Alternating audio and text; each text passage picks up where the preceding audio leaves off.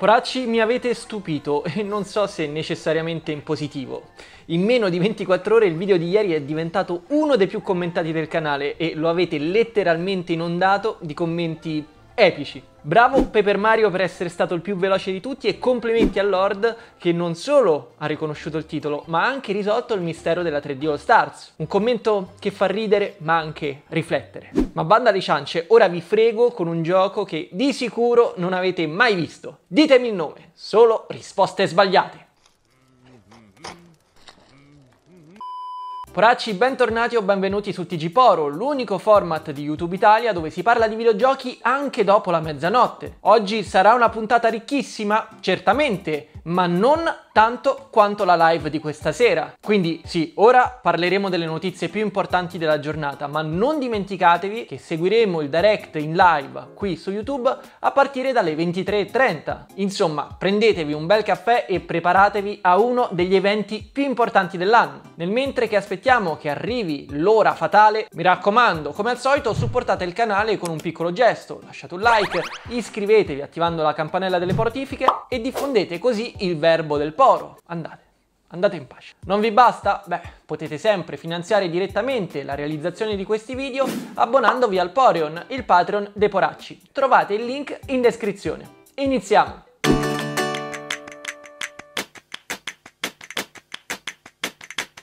Partiamo con qualche notizia al volo. È iniziata oggi alle 15 la campagna di sconti Salvi Blockbuster su eShop e senza troppe sorprese non è affatto semplice capire quali giochi siano in promozione. Sono oltre 300 i titoli in saldo, peccato che non siano stati raccolti in un unico contenitore e che l'offerta al momento si sovrappongano con campagne e sconti già in corso. Insomma, il solito caos totale sulle pagine dell'eShop. La campagna durerà fino al 3 ottobre e nei prossimi giorni vi segnalerò quelle che secondo me sono le offerte più interessanti. Tenete d'occhio gli shorts.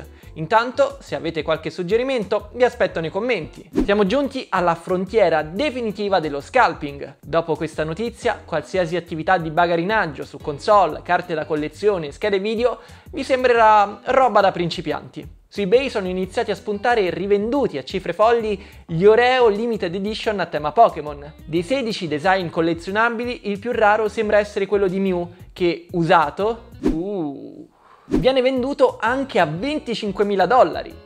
Sì, insomma, chi non investirebbe 25.000 dollari su un Oreo usato? Anche Steam Deck continua a far parlare di sé. Sebbene i pre-order per la console Valve non siano ancora stati aperti, alcuni sviluppatori hanno iniziato a ricevere delle unità di test per provare la console e verificare che effettivamente le loro produzioni non richiedano lavori aggiuntivi per girare sul PC portatile. I primi hands-on sono a dir poco entusiastici. Steam Deck funziona alla grande e in più grazie ai touchpad non fa rimpiangere assolutamente l'assenza dell'accoppiata mouse e tastiera. Io poracci sono sempre più convinto che nonostante il prezzo proibitivo, la piccolina di casa Valve potrebbe diventare un vero gigante del settore delle console portatili che ne pensate? Ma passiamo alle notizie del giorno e voglio aprire proprio con una Poro Prediction. Torniamo infatti a parlare della Castlevania GBA Collection. Non solo possiamo affermare con certezza che esiste al 100%, ma a questo punto secondo me sarà uno dei reveal a sorpresa del Direct. E preparatevi perché ci sono informazioni aggiuntive che faranno la felicità sia dei fan che dei collezionisti. La scheda apparsa sul sistema di rating taiwanese, che già avevamo commentato in una delle puntate precedenti, è stata aggiornata in modo sostanzioso. Ora è disponibile la cover art che accompagnerà il titolo e inoltre una breve descrizione che conferma la presenza di ben 4 giochi, non 3,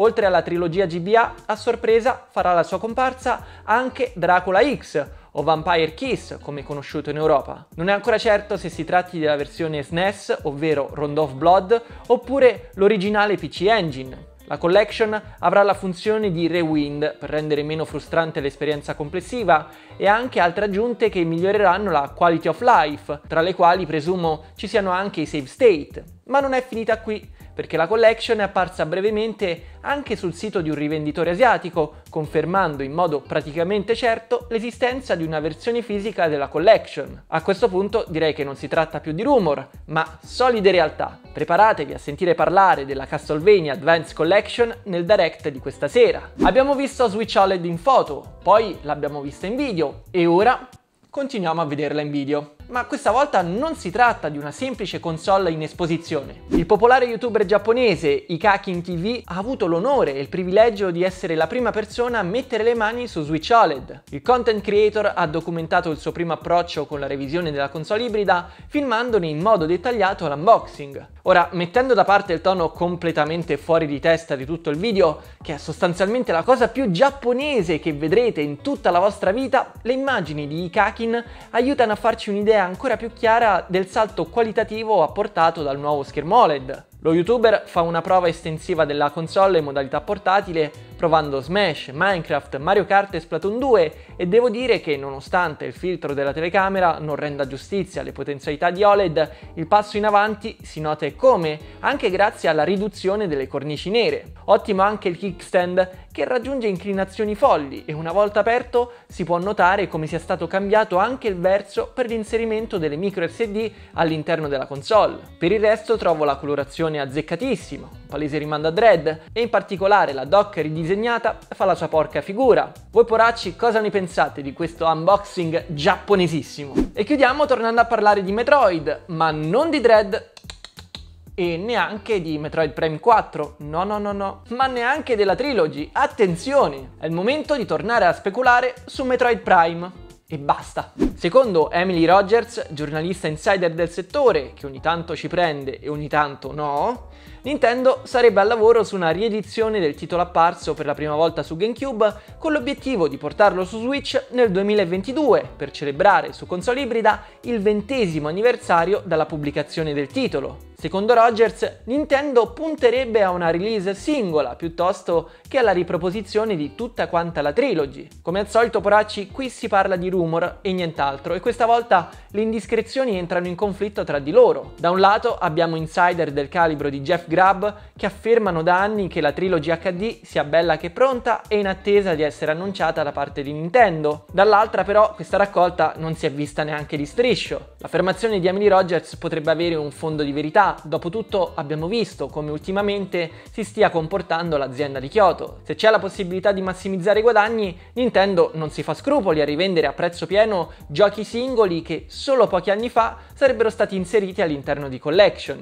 Nel caso queste speculazioni fossero vere, possiamo sperare solo in una cosa, che si tratti di una riedizione fatta con i fiocchi, un po' come accaduto per Skyward Sword, una riproposizione di un grande classico che giustifichi un eventuale prezzo pieno. Poracci, secondo voi è plausibile come scenario? E questo era tutto per oggi, ma no, no, no, no, fermi! Questo era tutto per il video di oggi, ma la Poro giornata non finisce di certo qua. Noi infatti ci rivediamo di nuovo qui su YouTube alle 23.30 per seguire assieme il Direct. Mi raccomando, pisolino tra le 21 e le 22, caffè e poi in live con il Poro. In ogni caso, grazie per essere arrivati fino in fondo, nerdate duro e ci vediamo dopo. Io sono il Poro Hype, Michele Hype, Hype, Hype. Ehi ehi ehi, fermo! Se questo tipo di video ti piace, prendi in considerazione l'idea di supportarmi sul Poreon, il Patreon dei Poracci. Con un piccolo contributo mensile mi puoi aiutare enormemente a portare avanti i contenuti qua sul canale e in cambio ricevi anche delle ricompense di tutto rispetto come retroscena, anteprime e anche live esclusive dove andremo a caccia di retro game. Ti lascio il link in descrizione e ricordati che Poracci si diventa.